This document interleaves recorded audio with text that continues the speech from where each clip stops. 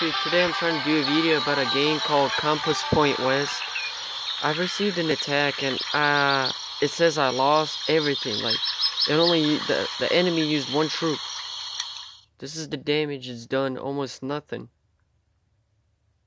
And I lost, like, all my resources and a trophy. I don't understand. You see right here, they're just gonna deploy a troop. It's only five seconds.